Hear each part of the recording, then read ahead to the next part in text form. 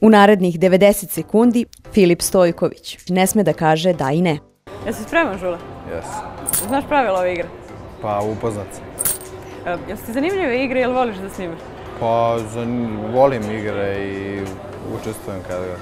Koji će da pobedi, Gobelj ili ti? Ja ću. Jel volite društvene igre? Pa volimo i stalno ih igram. Jel si najbolji u njima ili? E, trenutno jesam, vidjet ću. Koja je najjača konkurencija? Za sada ja, ali tu su i Gobelj i Vujadin. Osim što imate malo vremena s društvene igre, jel naporno na pripremama? Pa jeste, naporno je, ali dobro. Kada sve završimo, uveče se družimo tako da zaboravimo na umor. Jel teže padaju naporni treninzi ili utakmice? pa naporni treninzi. E, reci mi, jel si igrao prošlu utakmicu protiv Austrije? Igrao sam 80-85 minuta.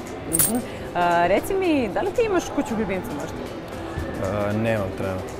Volao da imaš? E, ne bih voleo trenutno. Možda jednog dana kada bude e, beba, pa onda možda nekog psa. A, reci mi, kako se ti snalaziš u kuhinji? Pa snalazim se korektno malo dok sam bio u Minhenu, sam svašta nešto naučio. Šta najbolje spremaš? E, piletinu sa krompirima. Ko najviše voli da jede? E, bakula.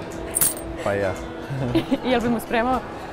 Bakul je uvijek, kao i ostalim članovima garde i ostalim momcima.